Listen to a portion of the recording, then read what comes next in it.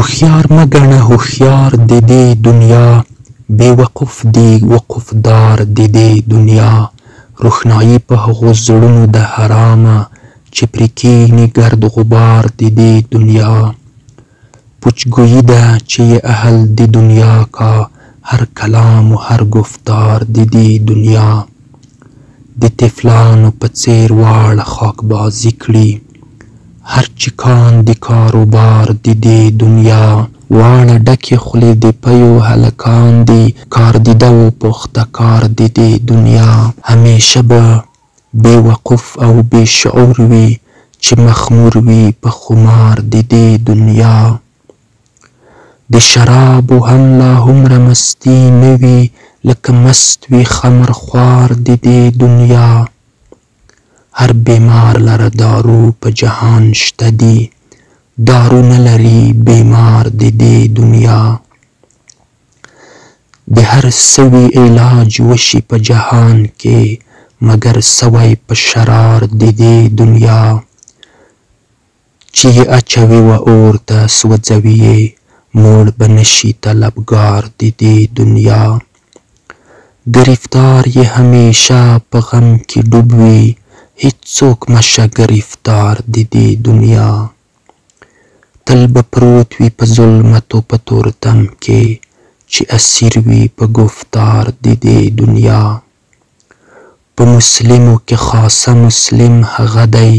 چې وشلا و زنار د دې دنیا تن یې پاتې شي بې سره سر یې لاړ شي سردار کله دی سردار د دې دنیا زویو لونه یتیمان کا ځنې درومي بے وفا دی مور و پلار دی دی دنیا همیشه به یو پند د غم په سر وي چې په سر یې وي دستار دی دی دنیا واړه غم دی که یې پلورې که یې پیرې نور څه نشته په بازار دی دی دنیا همګي واړه ټګان دی ټګي کان دی فروشنده و خریدار دیدی دنیا په دنیا به مینه نه کاندي هیچیرې چې خبر وي په اسرار دیدی دنیا چې نظر د چا په دین او په ایمان وي هغه نه کا انتظار دیدی دنیا هلکانو هم یواړه مکاران دي څه باور دی په مکار دیدی دنیا اشنایان یې هم واړه اغیاران دي یار دی چیرې په دې یار دی دې دنیا چې پیدا شي همګي واړه پنا شي راشه وګوره ناتار دی دې دنیا چې ویریږي له کوهي او له کړنګه هغه نه درومي په لار دی دې دنیا هر سړی لره چې ورشي ځنې درومي ما لیدلی دی رفتار دی دې دنیا که هزار هزار پشتۍ ورته ته کیږدې بی بنیاده دی دیوار دی دی دنیا که د اوسپنو حصار تر ځان چاپیر کړې ښیښه وګڼه حصار د دې دنیا